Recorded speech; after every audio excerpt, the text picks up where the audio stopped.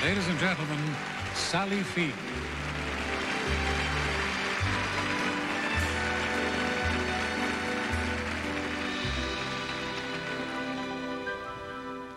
I've had the joy working with both Joanne Woodward and Paul Newman.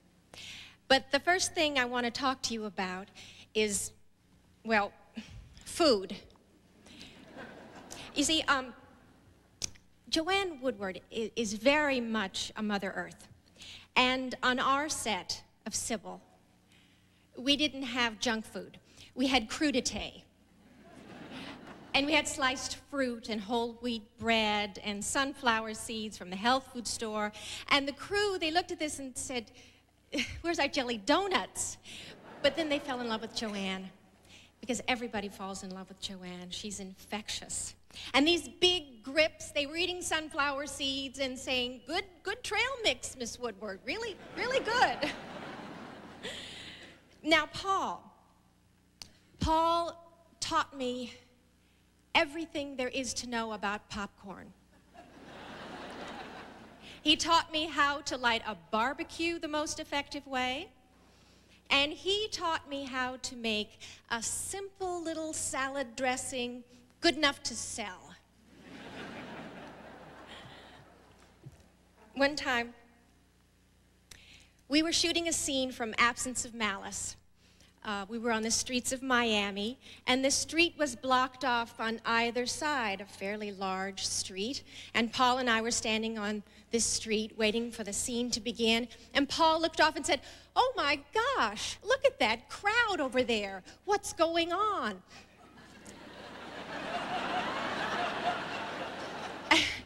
and I said, It's Paul Newman. He's here. Haven't you heard?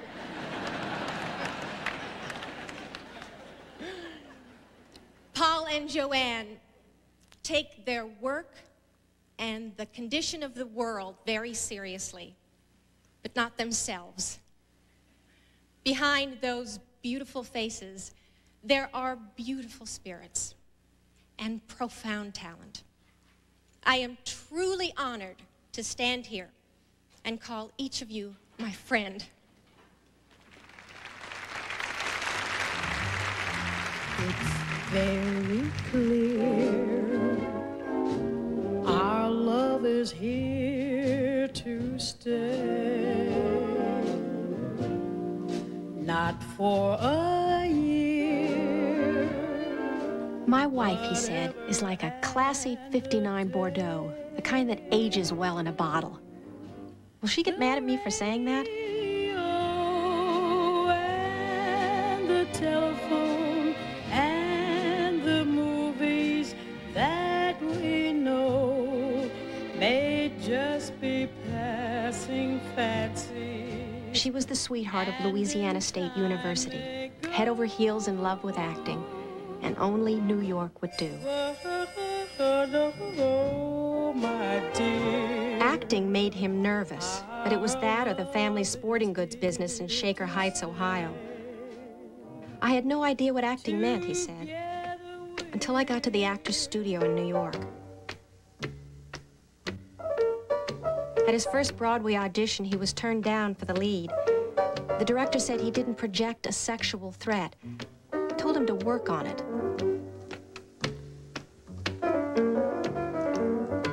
I worked very hard, he said. And sometimes it showed.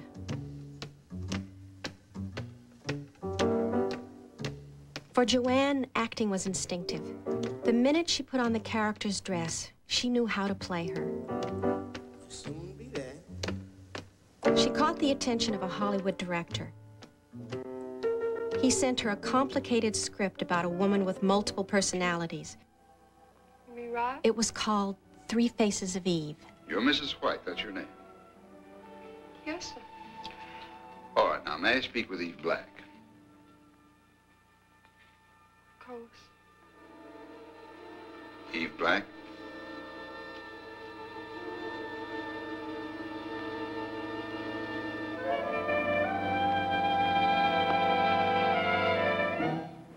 Spit. You know who this is? I sure do. Now, just a minute there. Your husband? If I have told you you once, I have told you 10,000 times I ain't got no husband. And I can tell you, if I was gonna have one, wouldn't be no lead bottom like Ralph White there. What'd you tell him for anyway? Bonnie isn't your child. In 1958, she won the Oscar, and her star was fixed. She also married the fellow whose guileless smile charmed us into believing he wasn't acting at all.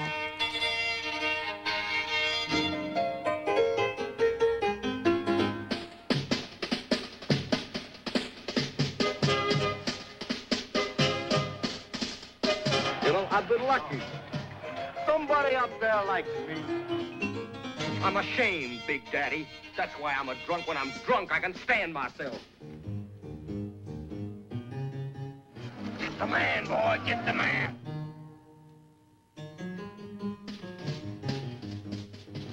I can eat 50 eggs.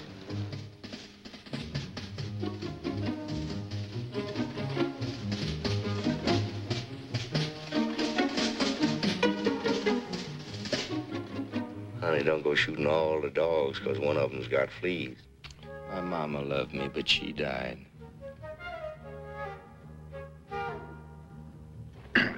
Listen, I don't mean to be a sore loser, but uh, when it's done, if I'm dead, kill him.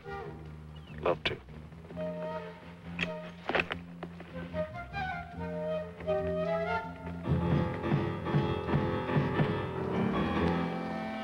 Who are those guys? Glad to meet you, kid. You're a real horse's ass.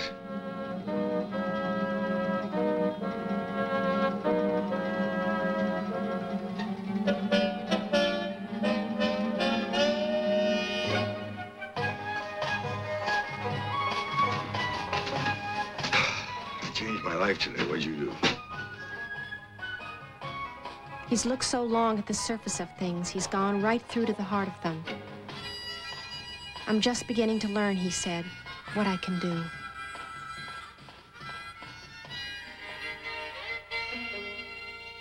When Joanne fell in love with the script Hollywood turned up its nose at, they went ahead with Rachel Rachel themselves. She's absolutely fearless, her director bragged. She knocks my socks off.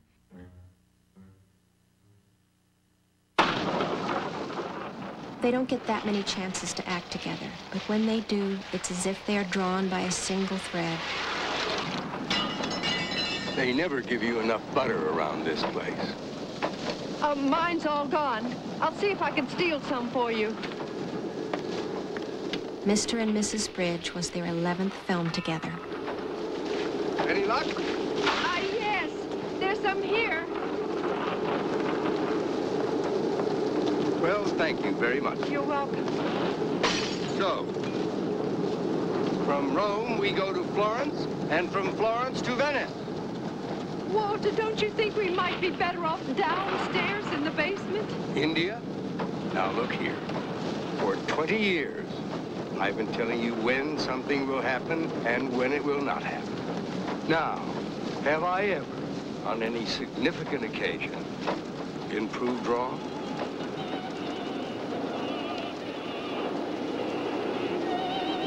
Right.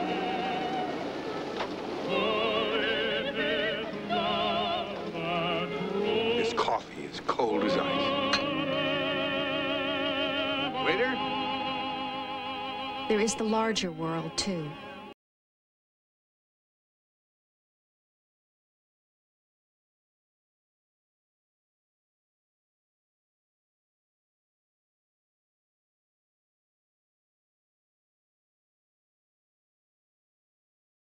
Being an actor, he says, does not excuse you from being a citizen.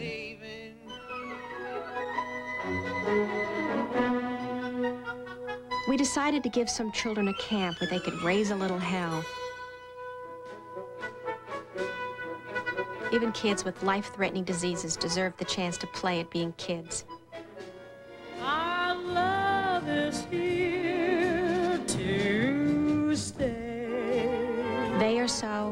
And we are so. And they and we go very well together.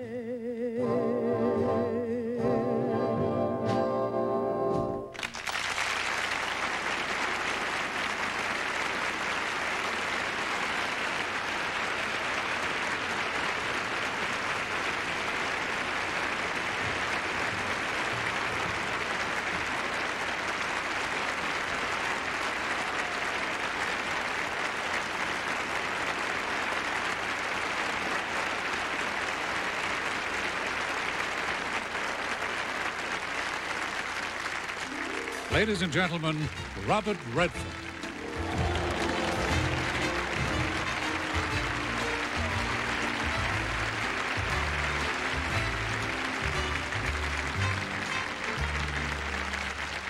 Thank you very much. This is a special night for all of us. Certainly for Paul and Joanne and the other recipients, but for me as well. I mean, I, I saw these films. I can recall sitting on my father's knee as a baby watching these films. We've had quite a road together, Paul and I. Jumped off cliffs, We've um, robbed trains, pulled off a sting or two, but we've also shared a lot of practical jokes with each other. I've, he's endured a lot of my traits. I've endured a lot of his, uh, a lot of bad jokes. He will tell a joke. I remember he would tell a joke maybe 9.30 in the morning when we were working.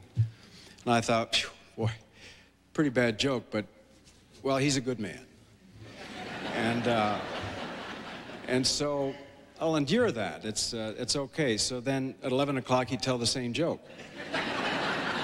and when 4 o'clock came and he was telling it yet again, I thought, this is going to be a test. He's a generous man who brings the gift of giving to each day. And he never asks for reward or, or recognition. His friendship, I, I can attest to. I mean, to give you an idea about the kind of friend he's been to me, um, there was a time a while back when I was trying to get an apartment in New York. And for those of you who've been through this, you know it's kind of rough when you have to go before a board. And it was a really strict board, and I, I really needed to impress them with credentials, so I wrote to a few friends if they would support me and give me references. And I'd like to share with you tonight the, the, um, the letter that Paul wrote the board. To whom it may concern, Mr. Robert Redford has owed me 120 bucks for over three years. he, he, will, he will not assume his obligation under threat of loss of friendship, honor, loyalty. I cannot, in good conscience, recommend him for anything.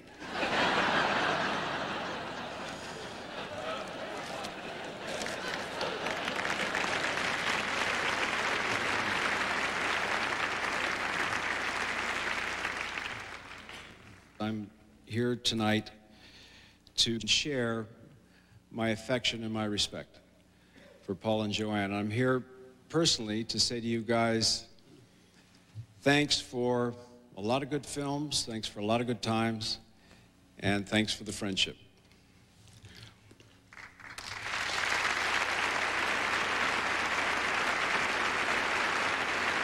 Uh, one of their pet projects is a summer camp for children with life-threatening illnesses that they built in Connecticut in 1986.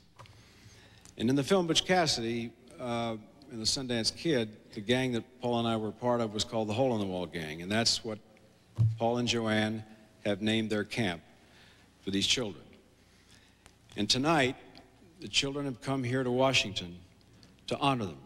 So, ladies and gentlemen, I'd like to present the Hole in the Wall Gang.